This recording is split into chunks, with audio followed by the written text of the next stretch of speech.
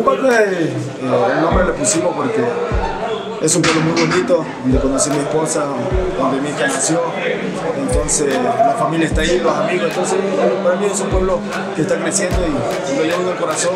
Y por eso pensé en Tumbaco, me dijo Tumbaco está nacional, está, está donde yo comencé, entonces para mí fue muy fácil elegir el nombre, ¿no?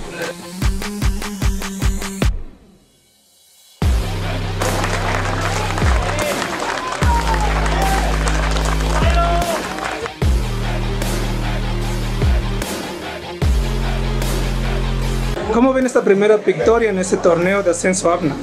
Muy bien, es importante para nosotros comenzar ganando, coger confianza. Un equipo muy complicado con un jugador que se ha preparado bien. Entonces, fue, fue, fue duro para nosotros, pero estamos contentos de la victoria y ahora seguir trabajando.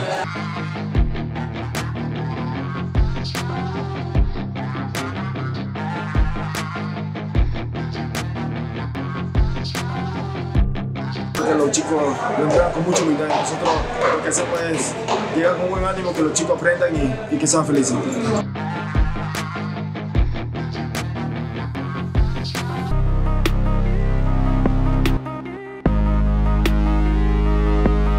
Veíamos en una nota que esto salió también de una conversación con el Chicho Benítez. Sí, bueno, de tantas conversaciones que hemos tenido, de tantos sueños, gracias a Dios, eh, ahí salió la idea de, de tener una escuela de fútbol, un equipo. La idea era llevar a Esmeralda, pero bueno, ahora se quedó aquí en Quito y espero que él esté muy feliz, orgulloso del trabajo que estamos haciendo.